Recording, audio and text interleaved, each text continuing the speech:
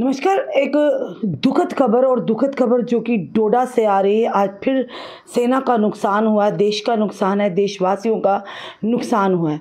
पूरी खबर क्या वो आपके समक्ष अब रखना चाहेंगे?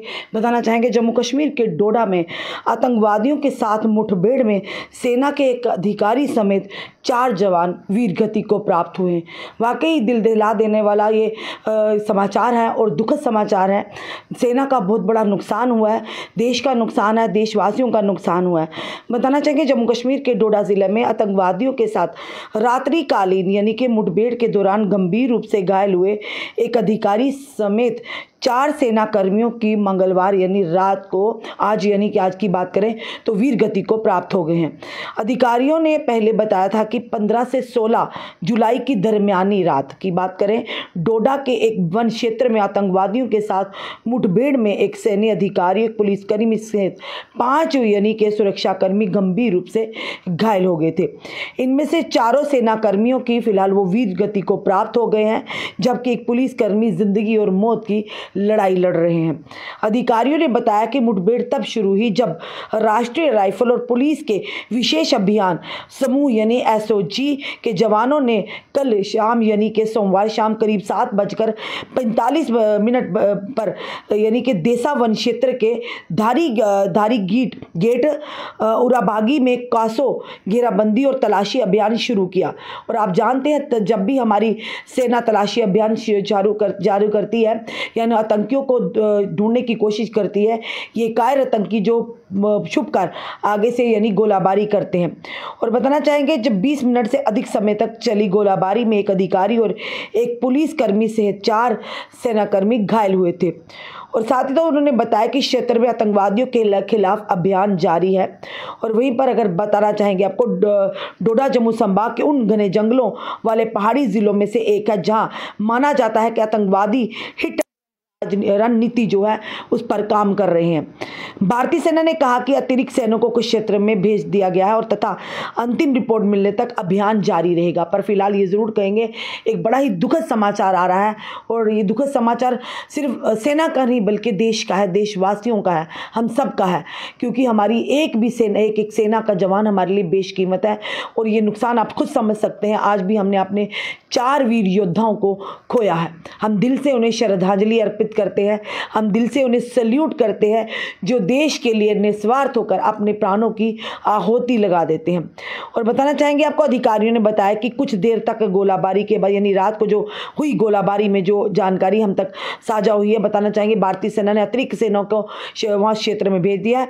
अधिकारियों ने बताया कि ये कुछ देर की गोलाबारी के बाद आतंकवादियों ने भागने की कोशिश की, लेकिन एक अधिकारी के नेतृत्व में बहादुर सेना के चुनौतीपूर्ण इलाके और घने जंगलों के बावजूद उनका पीछा किया, जिसके बाद रात करीब नौ बजे जंगल में फिर से गोलाबारी शुरू हो गई।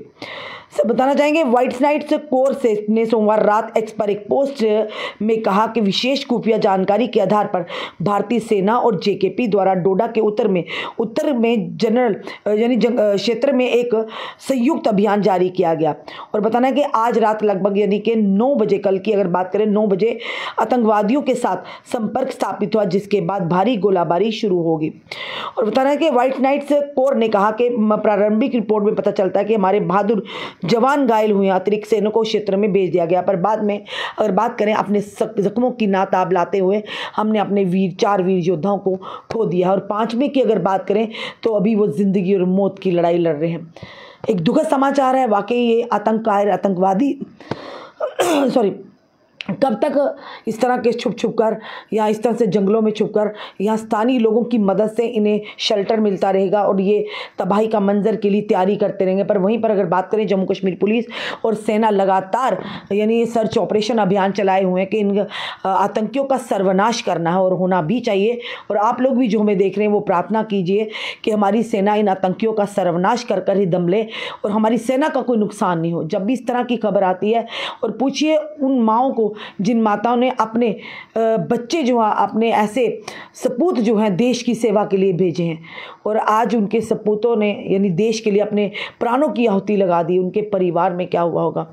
आप खुद सोचिए, ये सिर्फ़ उसी परिवार का नुकसान नहीं, सेना का नुकसान नहीं, बल्कि पूरे देश का नुकसान है, हम का, हमारा नुकसान है, आप सबका नुकसान है, क्योंकि यही लोग हैं, यही सेना है हमारी, जो सरहदों पर खड़ी है। अपने देश की रक्षा के लिए, जो आतंकवाद के सामने सीना ताने खड़ी है और उसी के चलते हम अपने घरों में चैन और बेफिक्री की नींद सोते हैं। और फ़िलहाल ये कहेंगे, बड़ा ही नुकसान है। आप लोग भी जो हमें देख रहे हैं, ज़रूर कमेंट बॉक्स में उन शांति लिखेगा। इन चार वीर योद्धाओं के लिए हम भी दिल से श्रद्धांजलि देते हैं, प्रार्थना करते हैं भगवान इनकी आत्मा को शांति दे, इनके परिवार को इस गम से लड़ने की शक्ति और ताकत दे, और हमारी सेना को और पुलिस को इतना बल दे, इतना बल दे कि इन आतंकियों को नस्तो नाबूद कर दे। फ़िलहाल हम भी कहेंगे एक दिल में दुख लेकर आँखों में आँसू लेकर ये क्योंकि तकलीफ़ होती है जब इस तरह की खबर आती है एक सेना के एक भी एक एक जवान हमारे लिए बेशकीमती है। आप भी समझते हैं हम भी समझते हैं पर इनकायर आतंकियों का क्या करें? कि घर का भेदी लंका डाय हमारे खुद खुद के ही अपने ही लोग हैं जो ऐसे कायरों को समर्थन देते हैं, ऐसे कायरों को शेल्टर देते हैं, जो इन्हें हमारे ही जम्मू को माहौल ख़राब करने का लगातार ये प्रयास कर रहे हैं। फ़िलहाल उन लोगों के भी खैर नहीं जो इनके खैर ख्वाह होंगे या इन्हें शेल्टर देते होंगे, उन्हें भी अब हमारी पुलिस या कानून के दायरे में ला जाए, उन पर भी उसी तरह से शिकंजा कसा जाएगा। फ़िलहाल पूछताछ भी लोगों से जारी लगातार इस पर अभियान चल रहा है कि ज़ीरो टॉलरेंस फॉर टेररिज्म पर फ़िलहाल ये ज़रूर कहेंगे नुकसान तो हमारी सेना का हुआ है फ़िलहाल। उम्मीद करते हैं आने वाले समय में इन आतंकवादियों को हमारी सेना जो है नस्तो नाबूद कर दे, इनका सर्वनाश कर दे। आपका क्या कहना है? ज़रूर कमेंट बॉक्स में कमेंट भी कीजिएगा और इस वीडियो को ज़्यादा शेयर कीजिए। जुड़े रहे हमारे साथ अगले अपडेट के लिए। जय हिंद, जय भारत।